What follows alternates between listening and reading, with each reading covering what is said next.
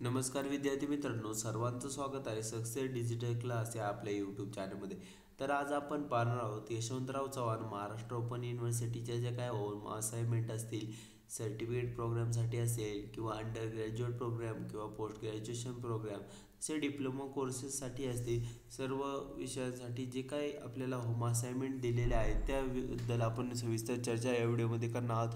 तर व्हिडिओ शेवटपर्यंत पहा. व्हिडिओ आवडला तर चॅनल सबस्क्राईब करा व बेलायकॉनला क्लिक करा. तर सर्वात प्रथम आपण आपण वाय सी एमच्या वेबसाईटवरती आलेलो आहे. तर ही वेबसाईट तुम्हाला आपल्या डिस्क्रिप्शन बॉक्समध्ये दिलेली आहे. त्या डिस्क्रिप्शन बॉक्सवरती क्लिक केल्यानंतर तुम्ही डायरेक्ट या होम पेजवर येऊ शकता. तर आता ह्या होम पेजवरती आल्यानंतर तुम्ही पाहू शकता सर्टिफिकेट प्रोग्राम असतील किंवा डिप्लोमा प्रोग्राम असतील अंडर ग्रॅज्युएट प्रोग्राम असतील पोस्ट ग्रॅज्युएशन प्रोग्राम असतील. तर आपण ज्या सेक्शनला किंवा ज्या कोर्ससाठी आपण ॲप्लिकेशन केलेलं आहे ते आपल्याला पाहायचं आहे. त्यानंतर आपले एम कॉम असेल एम कॉम असेल जे काय आपले सब्जेक्ट कोड असतील त्यानुसार किंवा आपले जे काय आता दोन हजार बावीस पॅटर्नचे जी काही नवीन आलेली आहेत ती कोर्स तुम्ही पाहू शकता.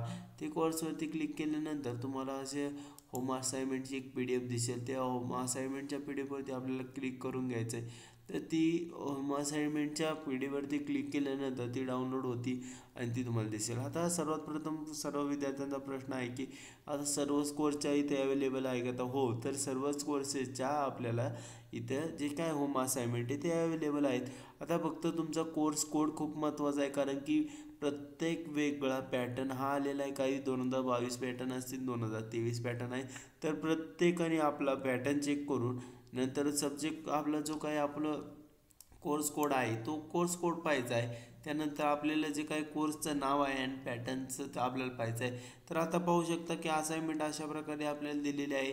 तर सर्वात प्रथम पाहण्यावर तुम्ही काय करायचं आहे? सर्व डिटेल तुमचं नेम ऑफ स्टुडंट टाकायचं आहे. त्यानंतर सिलेबस आणि सब्जेक्ट टाकायचं आहे. त्यानंतर पी आर एन नंबर त्यानंतर डेट ऑफ कम्प्लिशन टाकायचे त्यानंतर name of the study centre तुम्ही कोणत्या स्टडी सेंटरला शिकत आहात?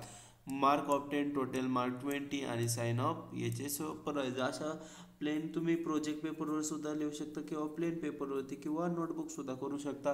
आता बरेचसे जे काही स्टडी सेंटर आहे ती ऑफलाईन हे कंडक्ट करत नाही तर ते तुम्हाला तिथं जाऊन सबमिट करावं लागत नाही. तर फक्त online P D F upload करावं लागतं. तर काही ठिकाणी ते ऑफलाईनसुद्धा सबमिट करून घेता.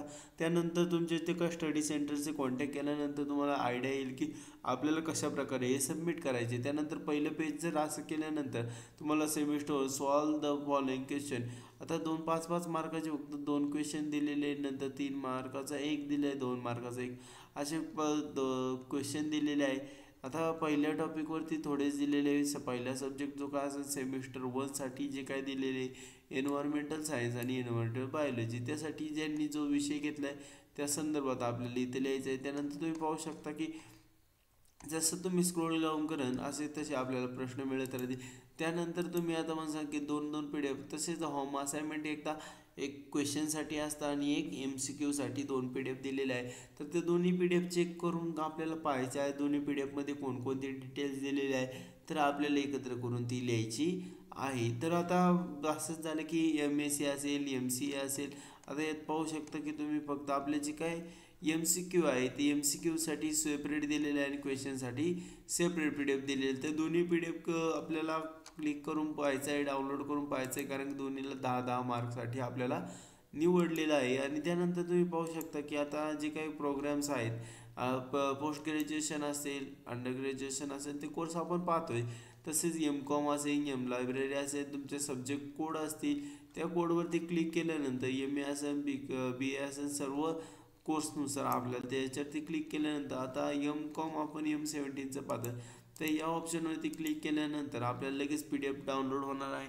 ती लोड झाल्यानंतर यात सुद्धा काय आपल्याला जी काय बेसिक माहिती दिलेली आहे ती करायची सेम सर्व प्रकारच्या होम असाइनमेंट आपल्याला लिहायच्यात तर पहिलं पेज तुमच्या नावाचं वगैरे ते असेल सर्व तुमची बेसिक डिटेल्स असेल दुसऱ्या पानावर तुम्ही लिहायला सुरुवात करू शकता आणि प्रत्येक टॉपिकसाठी वेगवेगळे आहे तर प्रत्येक तुम्ही पाहू शकता की मराठी वीस मार्कसाठी असेल तसेच प्रत्येक सब्जेक्ट कोड आता एम एनुसार प्रत्येक सब्जेक्ट कोडला वीस वीस मार्कला पाच मार्कला एक क्वेश्चन असे चार चार क्वेश्चन आपल्याला दिलेले आहे. एम ए मराठी असेल एम कॉम मराठी असेल किंवा इंग्लिश असेल दोन्हीसाठी असाइनमेंट दिले.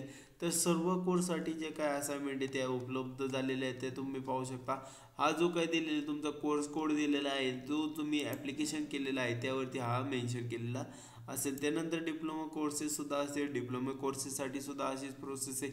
तुमच्या डिप्लोमा कोर्सेसचा जो काही कोड आहे तो आपल्याला पाहायचा आहे त्याच्यावरती क्लिक करायचं आहे. त्यानंतर आपल्याला आपली होम असाइनमेंट दिसणार आहे. तर ह्या होम असाइनमेंट प्रत्येक ठिकाणी वेगळी वेगळी तारीख दिली आहे बऱ्याचशा कॉलेजनी आता पंधरा वीस दिवसांनंतरची तारीख दिलेली किंवा काहींनी लेट दिलेली. तर आपल्या ते स्टडी सेंटरवरती डिपेंड असताना आपण कधी जमा करायचं? पण आता सर्वांच्या परीक्षा लवकर आलेल्या आहेत त्यामुळे तुम्ही पाहू शकता की जे काही स्टडी सेंटर आहे ते सुद्धा काय करतं की आपले जे काही लवकर होम असाइनमेंट असतील ते आपल्या लवकरात लवकर जमा करून टाकाव्या.